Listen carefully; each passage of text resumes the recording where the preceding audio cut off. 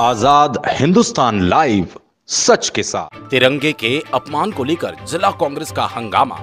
नगर पालिका के मुख्य द्वार के सामने धरने पर बैठे विधायक मुकेश पटेल और कांग्रेसी नेता।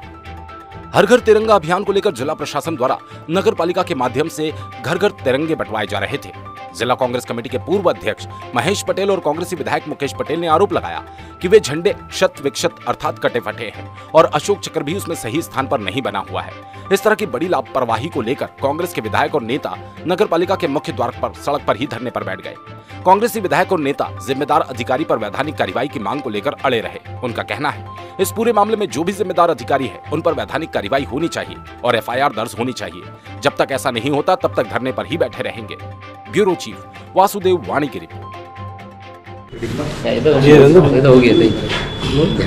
आज इस तरह से बताया जा रहा है कि राष्ट्रीय तिरंगे का अपमान किया गया है। क्या है पूरा मामला? देखिए सवेरे मैंने एक दो दिन पहले दिन पहले मैंने सीएमओ साहब को बोला कि मेरे को झंडे चाहिए हमें झंडे लगाना है। और ये अमृत उत्सव जो अभी शासन ने किया उसका घर घर झंडे लगाना तो मैंने सीएम साहब को फ़ोन लगाया। आज सवेरे उनके कर्मचारी आए और मुझे बोला कि साहब ने झंडे भेजे। तो मैंने झंडा देखा सबसे पहले। तो झंडा टूटा फूटा था और झंडा का सही नहीं था। और मैंने कर्मचारी को बोला कि पूरे झंडे फिर दिखा मेरे को। तो पूरे झंडे ऐसे निकले। आज प्रशासन अम, अमृत उत्सव मनाने के लिए ज़ोर ज़ोर से प्रचार कर रहे हैं। लेकिन आज जो झंडे का अपमान हो रहा है ये क्या है? जो अधिकारी खिलाफ एफ़ होना चाहिए। आज इस झंडे के लिए कई सेना के जवान शहीद हुए स्वतंत्र सेनानी शहीद हुए। आज जो झंडा है वो भारत की शान है और आज ये अपमान हो रहा है। तो इसके इनके खिलाफ कर होना चाहिए। आज मैंने कलेक्टर साहब को बात की सीओ मैडम की बात की लेकिन यहाँ कोई अधिकारी नहीं आया जबकि ये देशद्रोह का मुकदमा बनता है। आगे कांग्रेस पार्टी और आपके द्वारा क्या कार्रवाई की जाएगी?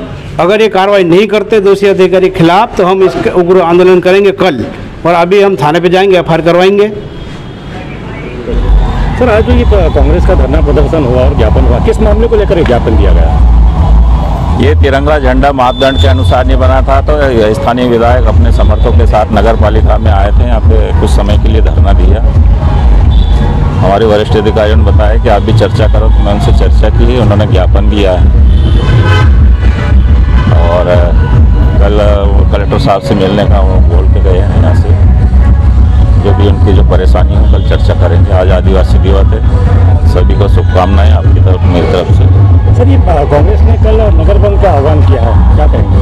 नहीं चर्चा करेंगे। हम शाम को अभी और बैठ कर बात कर लेंगे। आदिवासी जुलूस समाप्त होने के बाद में फिर निर्णय लेंगे वरिष्ठ अधिकारियों को भी इस संबंध में